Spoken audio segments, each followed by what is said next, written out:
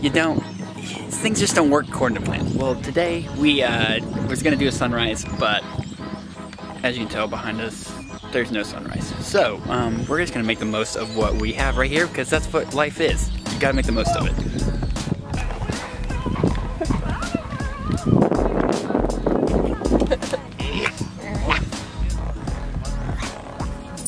So what happens when you poop out flowers right there? How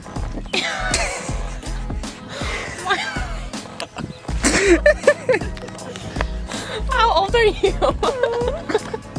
Seven, 16. Peach fuzz on my face. Oh Ridiculous.